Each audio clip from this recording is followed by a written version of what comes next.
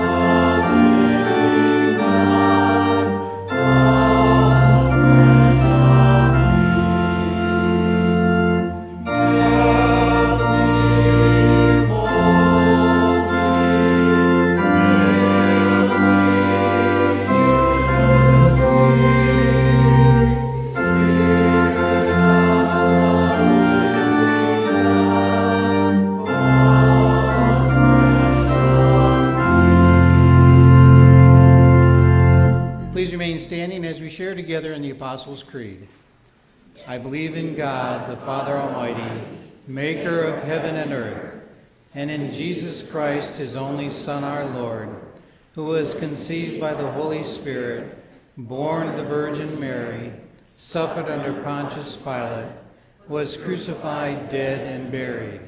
The third day he rose from the dead. He ascended into heaven and sitteth at the right hand of God the Father Almighty. From thence he shall come to judge the quick and the dead.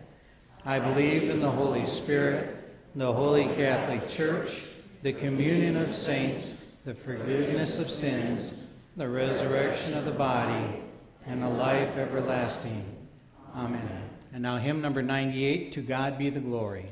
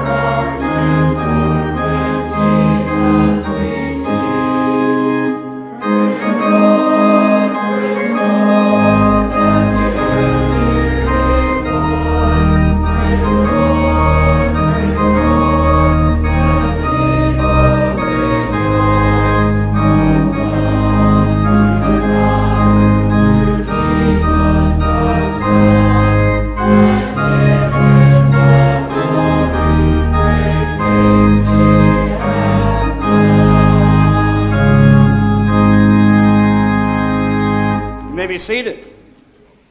Once again, good morning and welcome. It's a joy to be in God's house this day. It's a joy to praise God in spirit and in truth. It's a, it's a joy to serve God with all that we have, with all the gifts that God has given to us. We have been blessed immensely as a congregation and as a nation and as a world, and we come here and celebrate one of the celebrations of our church. I'd like to have Michael uh, come forward and, and give us a rundown of the faithful stewardship that we've been having the last few months. One disadvantage of being chairman of the Board of Trustees, I'm on a lot of other committees, so I, this is my month. From the Finance Committee, at the end of February, all bills were paid. There was a positive balance in our account, and all of our apportionments are paid. Now, for those of you that don't know, apportioned funds enable United Methodists to do together what no church, district, or annual conference could do alone. By paying our apportionment in full, we're taking part in many different ministries all around the world that we could not do on our own. Apportionments support outreach programs, our bishops, seminary, college students, I think our DS, and much, much more. Plain and simply, an apportionment is the amount each local church pays its annual conference to support international, national, and regional missions. So to have that paid is an outstanding thing. It was a tough winter, which caused attendance to go down, but the people of Fields continued to be faithful stewards, and we continue to the, do the work of Jesus Christ through our church. Every month, there's a fifth Sunday, and that Sunday is normally designated as Tithe Sunday, although Pastor Tom thinks it should be called Fifth Sunday Offering because every Sunday is supposed to be Tithe Sunday. Next week is our first fifth Sunday of the year, and the collection on that day will go to pastor, the pastor's discretionary fund, which Pastor, pastor Tom will speak about. The Finance Committee would like to thank everyone for their good stewardship and continued support of the ministries and programs here at Fields. Good job. All right. Thank you, Michael. We saved this, this report for the joys because it truly is a joy to stand before you and say uh, these positive things about the stewardship of the church. You know, um, I always uh, felt that money is not what should be spoken from the pul- pulpit, but stewardship and faith ought to always be. Just wanted to let you know what's going on in finance, real briefly. I challenged our finance committee that we have at least 36% of all that you give to the church in direct outreach mission. I will tell you we're at 34% of mission going out. That's pretty, that's very, very good. And that, that, that, I had a bishop in North Carolina said every church ought to have 50% of everything that comes in to direct mission. We're not there yet, but I'm hoping we're going to get there pretty soon. Uh, the pastor's discretionary fund, just real quickly, is a, is a, uh, a fund that's confidential. Folks come to me or I hear of a need in, in our, our church community or the greater community, uh, and I will, I will offer help uh, in, in terms of financial support or uh, gas cards or, or uh, food cards and that kind of thing. Last year, to give you an idea how, how much that was used, uh, the pastor's discretionary fund uh, handed out $8,600 worth of worth of aid uh, last year. Uh, we are, that fund is now down to $91. Just wanted to let you know that there. But that's the work of God, and that's the joy of knowing that God's work is being done in our church, through our church, throughout the community. So that is a joy. With all those joys, though, we need to lift up the concerns that weigh heavy upon our hearts and deep within our souls. Please note those on the prayer list. I have a few that I would like to add. Uh, Lucy Mercer, who was the previous choir director here, her husband passed away last week. So we need to lift up uh, the family and friends of Jim Mercer. Also, if you would add the family and friends of Rose Sawyer, Mark Nipper, uh, Jack Stone. Jack Stone is, is a man from West Virginia that the North Coast District called and needed to have some pastoral uh, help. And so we are visiting uh, Jack up at the Cleveland Clinic, and so uh, he'll be listening to us via the web here, by the way, as well. So keep Jack in your thoughts and prayers. Also, if you please pray for Jane Fuller, who's recovering from a broken leg, Greg Stanfield for healing, uh, Denby Milner, Alice Vanek, and for Evan. Are there other joys or concerns of the church here this morning?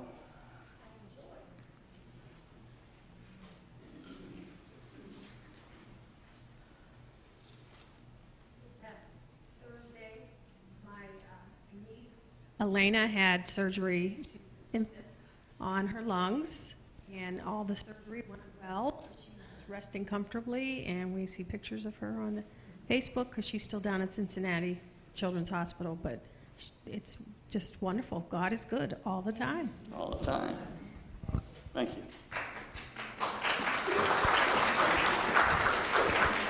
Yesterday was Dale and my 62nd anniversary. All right. Happy anniversary. Are there others? I'll of joy. Not quite 62, but Kim and I are celebrating 29 years today. For our 29. All right. we'll, work, we'll work towards it.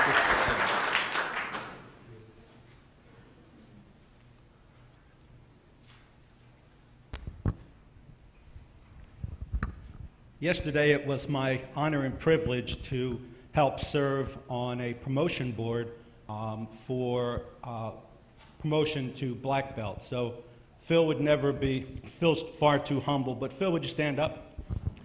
Yesterday, Phil was promoted to the rank of second degree black belt, and also Alan Worcester. Both of these men are part of our, our karate ministry here. Alan Worcester was promoted to the rank of first degree black belt. All right. So, congratulations to both of them.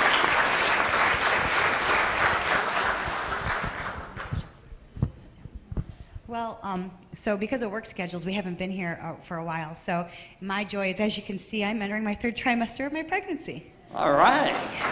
So, but with that comes concerns. So since I have 72 days left to go, um, I'm having some problems now. My blood pressure is starting to rise. So let's just say some prayers that I stay out of the hospital and we, I stay healthy. We will keep Jasmine in our prayers. And your baby.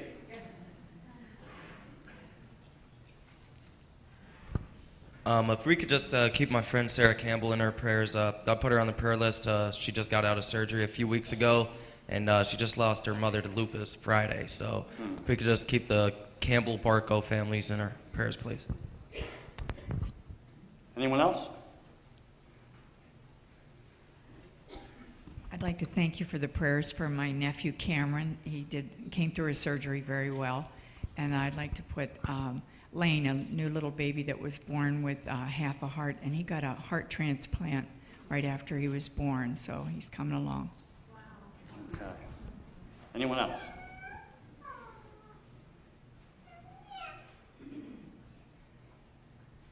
Let us then bow our heads and lift our hearts.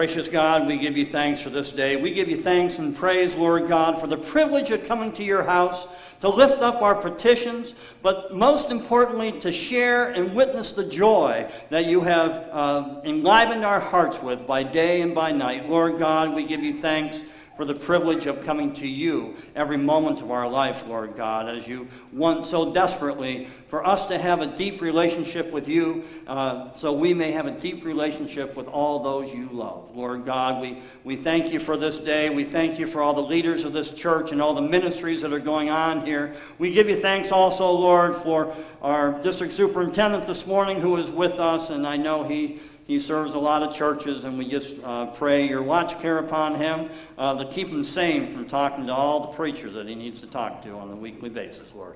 Lord God, we, we do uh, gather here to give thanks and praise, but at the same time, uh, there are many things that weigh heavy upon our hearts this day, so we lift them up to you, Lord God. We know we're not worthy. We know we have fallen short of the glory of God, but Lord, even though we fall down, you pick us up and dust the, the dirt off of our knees and set us upon our ways, Lord God. So we, we come to you with boldness and lift up our petitions to you this day. Lord God, we pray for those uh, throughout your world, uh, your world, its leaders. Lord God, we pray for those places around the world that are just. Uh, besieged by incredible acts of violence, Lord God. We pray especially for our brothers and sisters in the Middle East. We pray that your, your peace will intercede in that region of the world. Lord God, we pray for our great nation and our leaders. We pray that our leaders may lead with your word firmly upon their lips. Lord, we pray for our community, our community leaders. We pray for our schools, our teachers, our administrators, support staff, our children, uh, their parents and guardians and neighbors. Lord God, we pray for those who are traveling or who will be traveling in the upcoming week. Travel blessings upon them.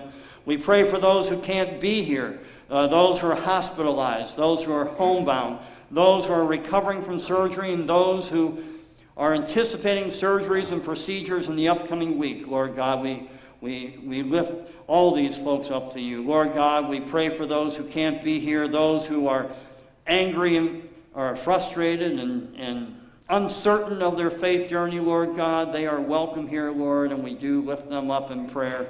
Uh, we, we pray for all those that, that you love, which is your whole creation. Lord God, we pray for those who mourn the loss of loved ones this day. Especially, we lift up to you the family and friends of Rose Sawyer, the family and friends of Albert Borzanian, the family and friends of Sherilda, and the family and friends of Jim Mercer. Lord God, May you wipe away the tears of loss and exchange them for tears of joy, knowing that the one they have lost is firmly within your grasp, and there will be a day that all shall re- be rejoined with them and all the other saints who have gone on before them in your house, Lord, not made with hands, but eternal in the heavens.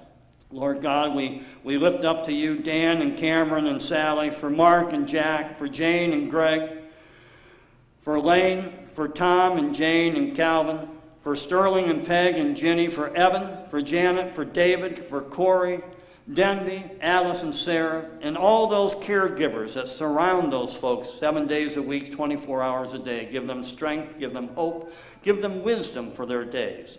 And now, Lord God, we pray for each other and for ourselves that we may be enlivened by your Holy Spirit to continue the good work that you've begun in each and every one of us. These things we pray through our Lord and Savior Jesus Christ who through his disciples taught us to pray boldly together Our Father, who art in heaven, hallowed be thy name. Thy kingdom come, thy will be done, on earth as it is in heaven. Give us this day our daily bread, and forgive us our trespasses, as we forgive those who trespass against us. And lead us not into temptation, but deliver us from evil. For thine is the kingdom and the power and the glory forever. Amen. I'd like to invite the children to come forward for a children's chat. You're Emma. You turned three? Wow, that's, that's, that's really good. You're turning four? Really? I thought you were 10. No? Year wasn't? That's right. She can't be older than you. No, that's, that's, that's very true. Well, thanks for coming up here this morning. You know, I had a silly thought. You know what sun, this Sunday is besides a chance to, to praise God and, and pray? And we're talking all about prayer these last several weeks, aren't we? Easter. Easter's coming. That's right. Easter's in two weeks. That's, I can't wait. Don't you like Easter? You did? You're going to dye eggs? Well, that's really good. Well, we can talk about that later. But we can, I'll tell you what, we'll talk about that on Easter. I promise you. You remind me? Okay. You got all you witnesses here. Jesus, yeah, that's right. Easter is about when Jesus rose from the dead. And you know, when I got up this morning, I felt so good. I couldn't wait to get here to be with everybody. I couldn't wait. You know why? Because I, I just felt that joy. For a couple of reasons. Number one, this is the first Sunday of springtime, too. I never said hi to you. Hmm? I never said hi to you. Well, you just did. Well, uh, and boy, this is you guys. This is tough this morning. That's okay. I like talking too. Yeah. Well. We can talk about chocolate bunnies on Easter too.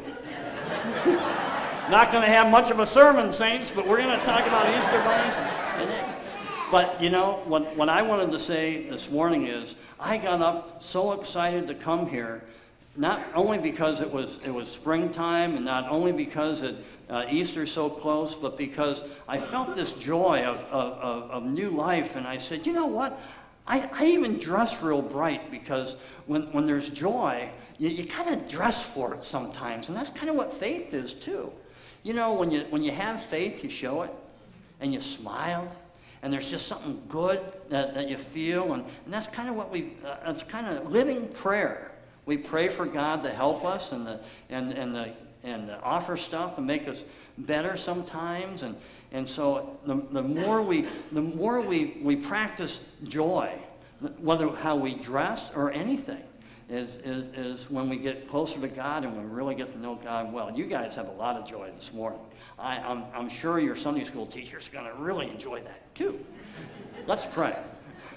Lord Jesus, thank you for these children. Thank you for their incredible witness of faith here this morning. Bless them and keep them. In Jesus' name, amen. Thank you for coming up this morning.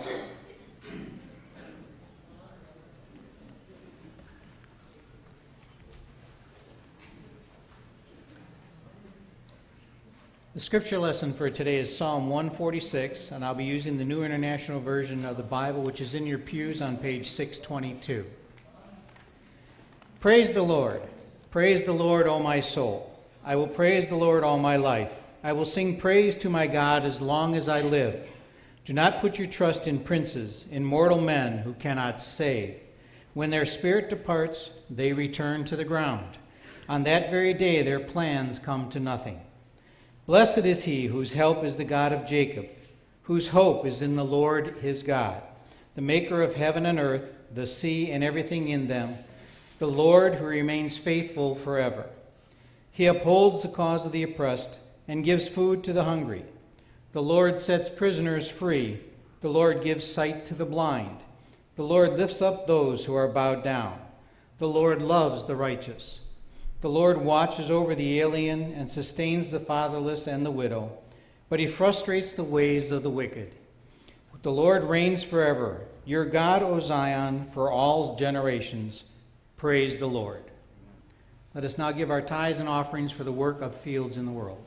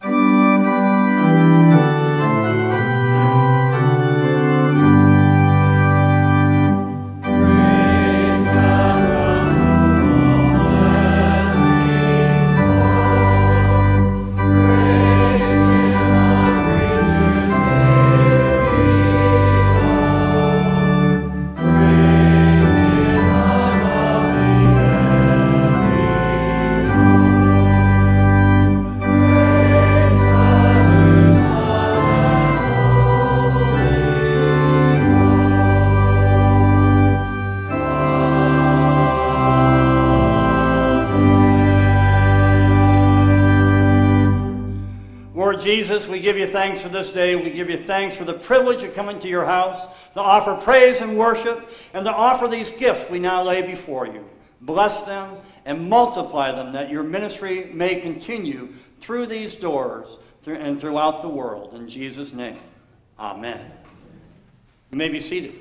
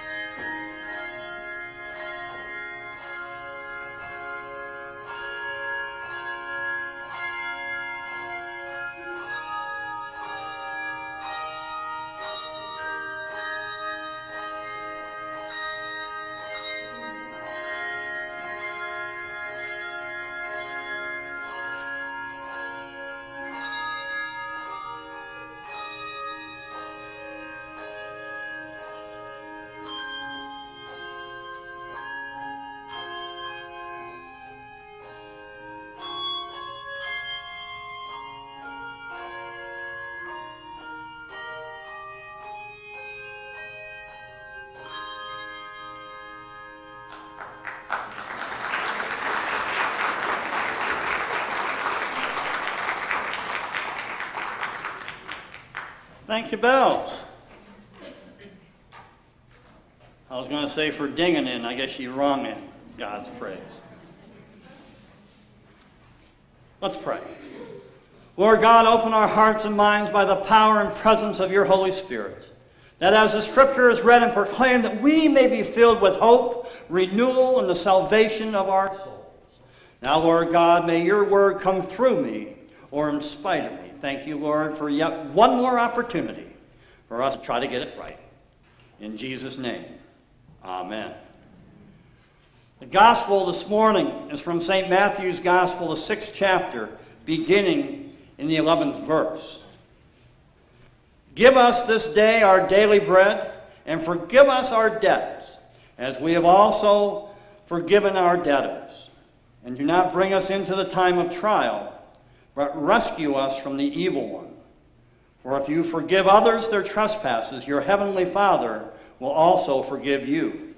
But if you do not forgive others, neither will your Father forgive your trespasses. As we continue this series on prayer, last week I woke up with the what ifs. What if? Our prayer life that we share corporately and individually came together like a symphony, each petition building upon another to create a musical masterpiece in God's ear. What if our prayers were living and breathing testimonials of our faith in God through our Lord and Savior Jesus Christ? when Jesus taught us to pray. The words he used were intended to be more than a few marks on a page or to take up space or phrases that are to be spoken by rote during worship or before bed. You see, prayer is not only meant as an opportunity to draw closer to God in faith, it's intended to be lived out. Over the last several weeks, we've considered prayer. We considered many types of prayers. We, we considered first the prayer of Jabez, that simple, obscure, one little verse in 1 Chronicles 4, O Lord, bless me a lot. Expand my ministry. Lay your Holy Spirit upon us and keep us from doing evil. And then the prayer of brokenness of Hannah coming with a, with a contrite heart before God, and then the centurion who knew that he wasn't worthy, but told Jesus, Just say the word, and my servant will be healed.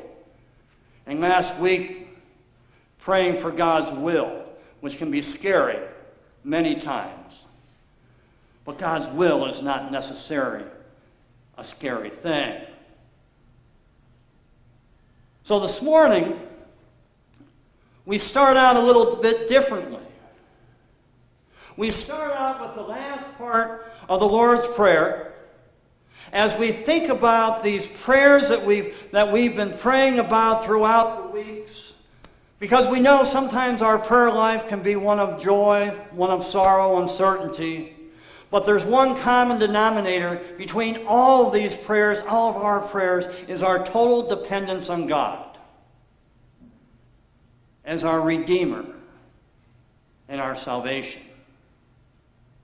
The Lord's Prayer articulates in a few words what it means to be a follower of Jesus Christ, offering praise to God. I mean, that's an amazing thing. The psalm that was read, it's amazing. When we give praise to God, you know, our joy just overflows. When we give praise to God, I mean, how could we not give praise? When you look around, the family, the friends, this creation, this church, how could we not give praise? Then Jesus goes on, allowing, calling us to pray to allow God's will to be done through our lives. And understanding that we are a gift from God and all the, all the things that make us who we are is to be shared, is to celebrate God's will, to praise God. And as we consider this last few petitions of the Lord's Prayer, I thought about our journey a lot. When you have Christ, there's that joy. But you know, sometimes we get a little bitter, don't we? Every once in a while, we get down a little bit. Saints, when we get bitter about life, with all the joy that God has given us, there must also be bitterness towards God. We are called to praise God. We are called to live joyfully for God. And so if we're bitter, walking around with bitterness in our heart and in our soul, we must have a bitterness towards the one who created us too. That's all part of a prayer of confession as well. Look what God has given us. Look at the blessings that God has given us.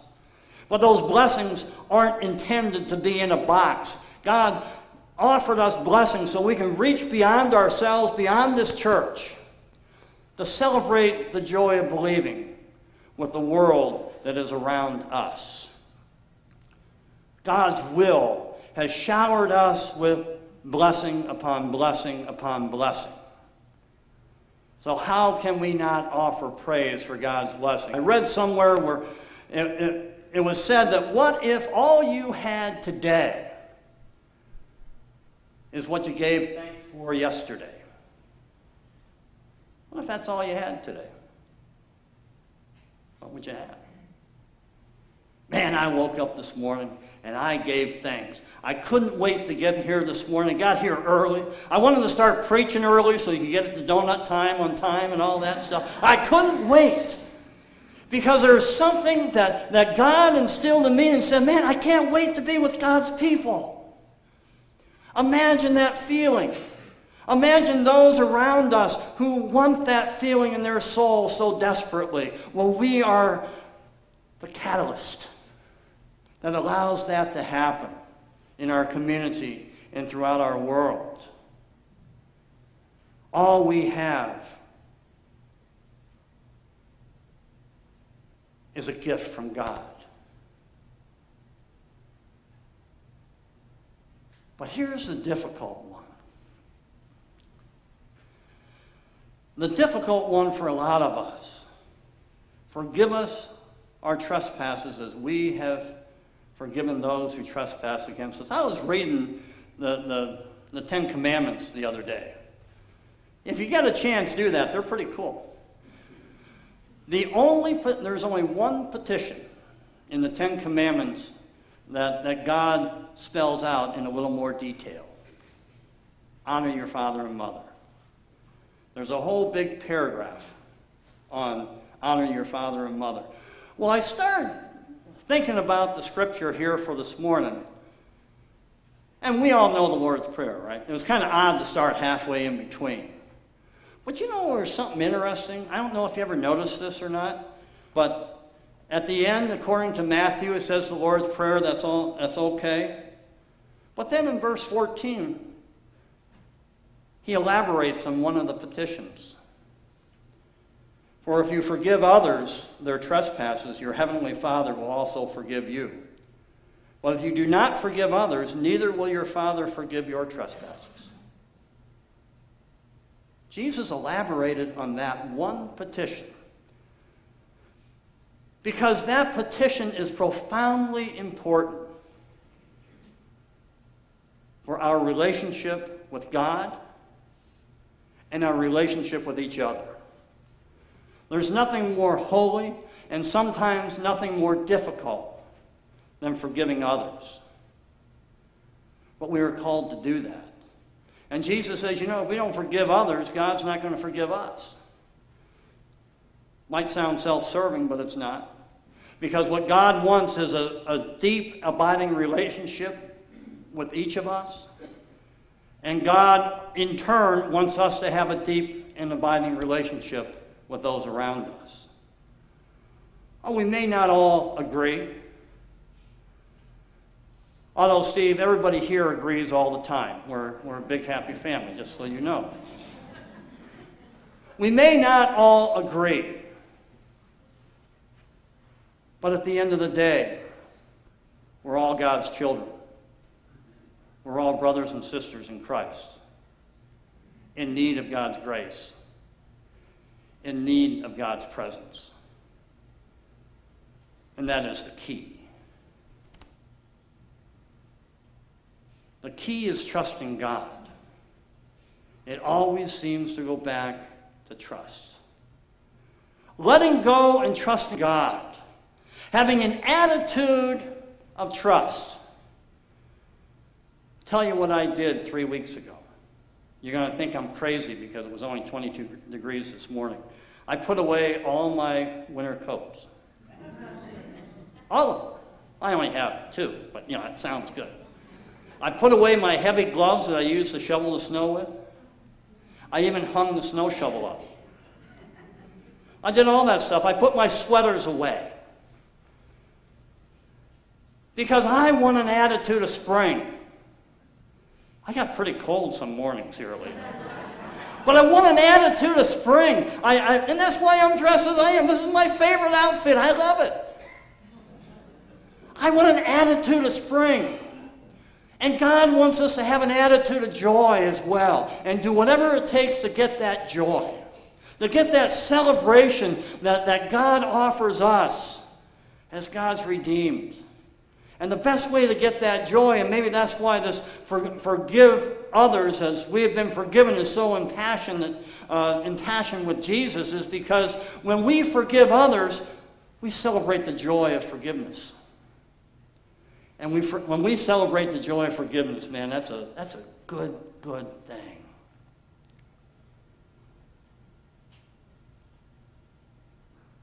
Trusting God in our prayer life is about living our prayers. Not just praying our prayers, not just saying our prayers, but living the prayer. Imagine what the world would be like if we lived the Lord's Prayer. Every last person lived the Lord's Prayer. What would happen? Saints, it has to start somewhere. May as well start here at Fields United Methodist Church. It may as well start here to start feeling and living the prayer. This morning, I, I didn't feel like I could live the prayer and have a tie on. I don't know why. For me, a tie is good, and, it's a, and, it's, and there is some reverence as, as part of this office. But on the other hand, this morning, I just felt like living. I just felt like doing God's work. I can't do God's work uh, with, a, with a sport coat on this morning. I just couldn't do it this morning. That happens every once in a while. To live our prayer life is to take seriously what we are praying and to whom we are praying.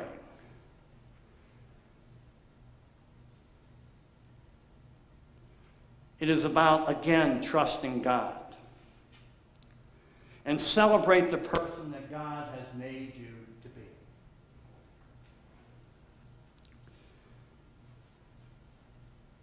And the life and the person that God has intended for all of us to be are folks that are filled with grace filled with joy and filled with the salvation of our Lord and Savior Jesus Christ, and that's something that can never be taken away. Reading through the Bible. I was at a seminar yesterday, and, and someone said that 72% of the pastors only read the Bible when they're preparing for a sermon. I found that kind of hard to believe. I, I, I, don't know how they can come up with a, with a statistic like that because, you know, even if you did do that, you probably wouldn't tell anybody. But, uh, but if you. But consider the Bible. Consider what it says, especially God's Word through Jesus Christ in the Gospels. It says to live in joy. It, it says to celebrate. It says to offer praise.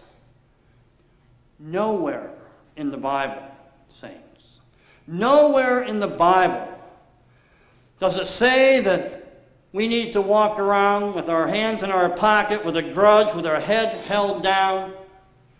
Nowhere in the Bible does it say that. Jesus knows better than that.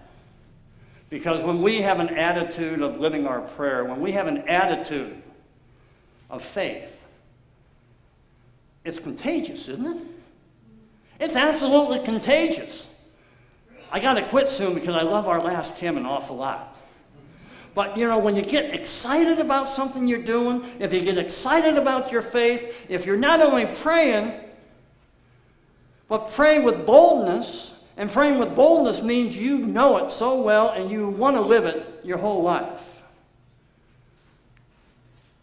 Imagine praying the Lord's Prayer Our Father, who is in heaven, hallowed be your name, and thank God you're here. Thy kingdom come, not mine. Your will be done on earth as it is in heaven. Give us this day our daily bread. Give us our sustenance so we can do your work. Forgive us our trespasses so we can have the joy of, of forgiving those who trespass against us. Lead us not into temptation because it's easy to do. Because you give us all this joy, all this faith, we're going to get a big head. Lead us not into temptation, but deliver us from evil. For yours is the kingdom, yours is the power, yours is the glory forever. All of a sudden, we can start living our faith because we don't have to worry about living in our own glory any longer. We don't have to worry about hallowing our name. We're too busy hallowing, in other words, glorifying, praising God's name and not our own. That's living a prayer life. And, saints, over this last several weeks, there's something interesting that's happened. We have now over 92 people who signed those little prayer cards. Remember those a few weeks ago? They all put down the time that you're going to pray for the church every day and my family, which I certainly appreciate. You signed it. Things are happening here. There, there, there is a, there's, a, there's a wonderful spirit that's been enlivening souls.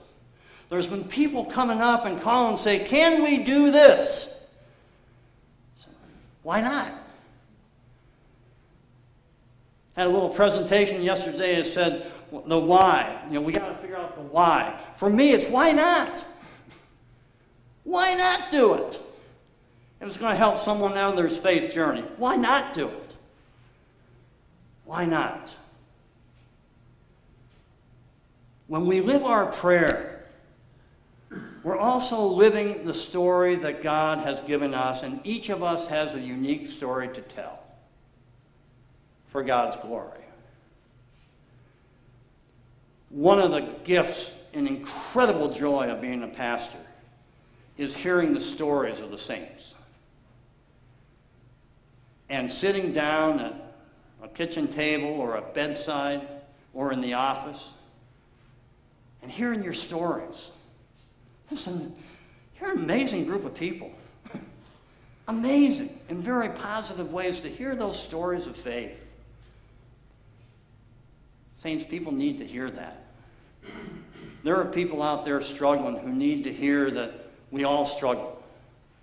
And because of faith in Jesus Christ, we've overcome those struggles. You see, people need to hear that. We are called to celebrate those things that we see in another. A strong prayer life not only empowers us to accept who we are as children of God, but to accept others in the same way. Because every time we pray, we're putting ourselves on the sideline and saying, God, you're in charge of my life. I trust you fully. You do with me whatever I